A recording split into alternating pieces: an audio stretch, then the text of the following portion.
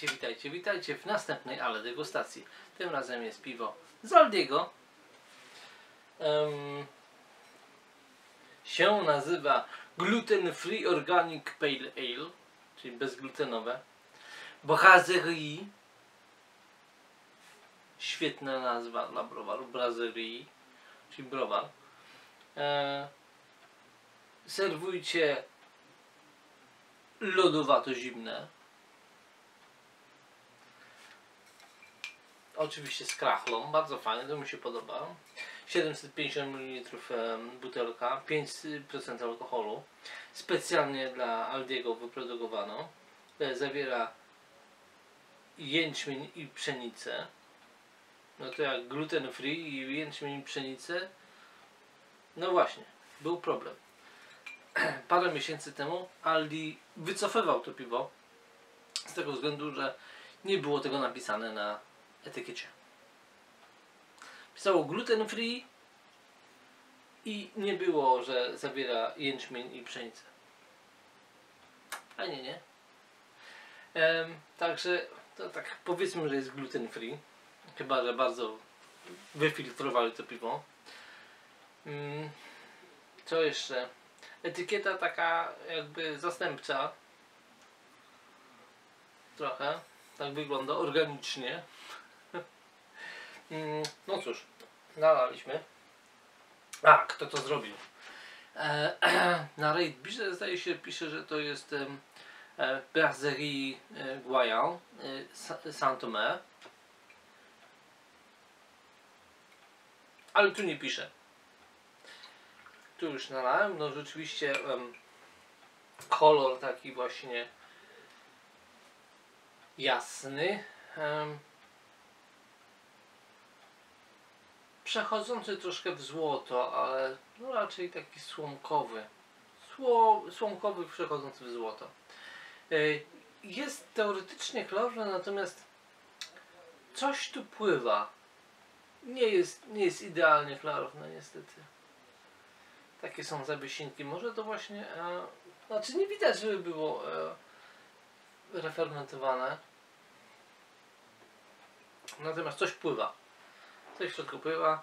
Piana, no niezbyt, nie, nie, niezbyt rzeczywiście. E, średnie i duże pęcherze są. W aromacie co jest.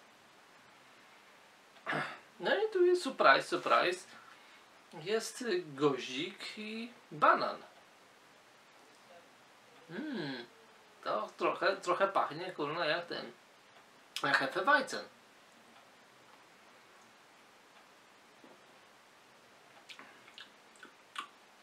O, ale metaliczny posmak. Spróbuję. Bardzo metaliczny. Ło, samo żelazo. Ja cię kręcę. No, tego się nie spodziewałem. Jakie żelazo, paskudztwo. Jest słodowość.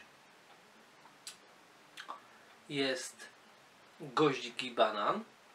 I takie właśnie belgijskie drożdże. Taka mm, przyprawowość jest. Ale to żelazo zabija wszystko. I przechodzi to w taką goryczkę ziemisto em, ziołową.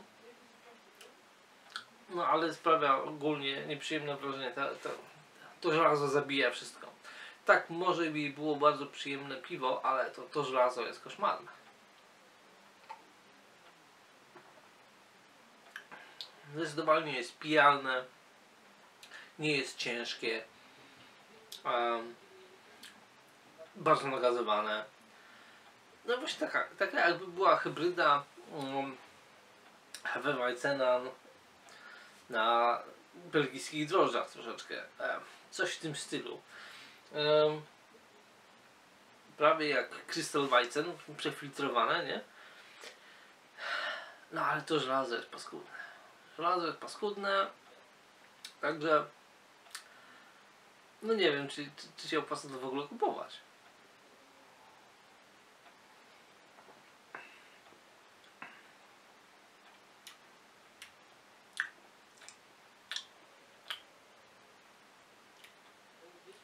Albo mnie się tylko tak trafiło. Ale, żelazo jest paskudne.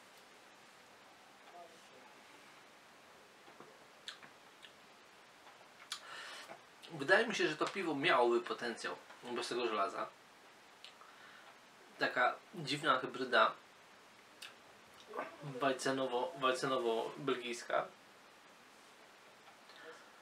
Em, a tak, no to kurna, naprawdę ciężko to wypić.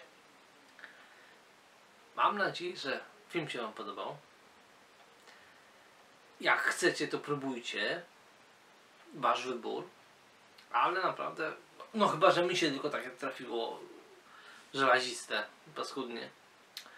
Jeżeli wypiliście lepszą warkę, na przykład, bez żelaza, no to proszę, napiszcie w komentarzu.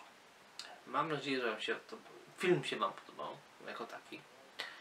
Dajcie łapę w górę. Pamiętajcie o dzwoneczku, który będzie Wam przypominał o każdym film, nowym filmie na kanale. No i Wasze zdrowie.